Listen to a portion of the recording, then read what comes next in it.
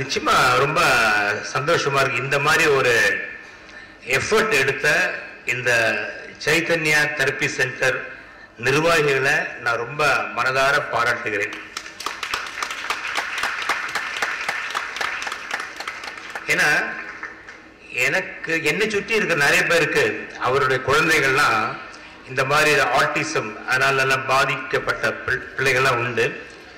ஆனால் இன்னைக்கு வரைக்கும் அது ஆட்டிசமா மென்டல் டிஸார்டரா எதுவுமே தெரியாம குழம்பி இருக்க நிலையில இருக்காங்க. ஒரு அவேர்னஸ் வந்துருச்சு. அந்த ஒரு அவேர்னஸ் கிரியேட் பண்ணதுக்காக ரொம்ப ரொம்ப நன்றி.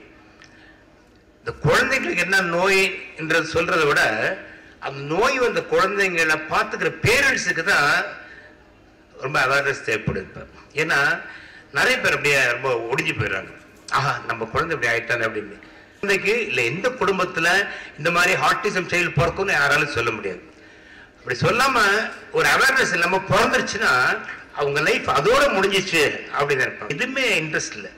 உங்கள் சினிமாலாம் பார்ப்பாங்களான்னு கேட்டால் இல்லை சார் அதெல்லாம் அவங்களுக்கு இன்ட்ரெஸ்டே கிடையாது. அவங்க நினைக்கிறாங்க லைஃபே முடிஞ்சிருச்சு ஆனால் அப்படி கிடையாது.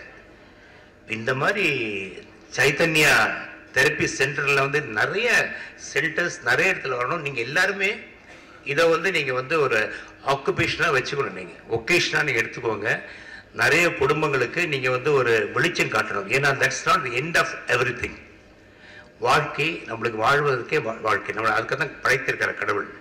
இந்த குழந்தை ஆப்டிசம் ஆர்டிசம் ஆனதுனால நம்ம ஒருத்தருடைய லைஃப் இதாகிட போகிறதில்ல குழந்தை குழந்தை வளர்ந்துரும். தட்ஸ் காட்ஸ் வில் அதை எப்படி ஃபேஸ் பண்ணுறது அதை எப்படி வளர்க்கணுன்றது நீங்கள் இந்த மாதிரி சென்டரில் போய் கற்றுக்கணும் இந்த முயற்சி எடுத்த நிர்வாகிகளுக்கு ரொம்ப பாராட்டுகளை தெரிவித்துக் கொள்கிறேன். கண்டிப்பாக. நிச்சயம் இதே மாதிரி நீங்க நிறைய செமினார்ஸ் தமிழ்நாடு முழுக்க போங்க. எனக்கு இது முன்னாடியே நீங்க எனக்கு செய்தி கொடுத்து நானும் பல்வேறு தொலைக்காட்சிகளிலே சொல்லி இதை இன்னும் கொஞ்சம் கவரேஜ் பண்றதுக்கு ஏற்பாடு பண்ணலாம். பெட்டர் கவரேஜ் ஏன்னா ஐ ஷுட் ரீச் பீப்புள் என்று கோரி வாய்ப்பு நன்றி கூறி விடைபெறுகிறேன். நன்றி வணக்கம்.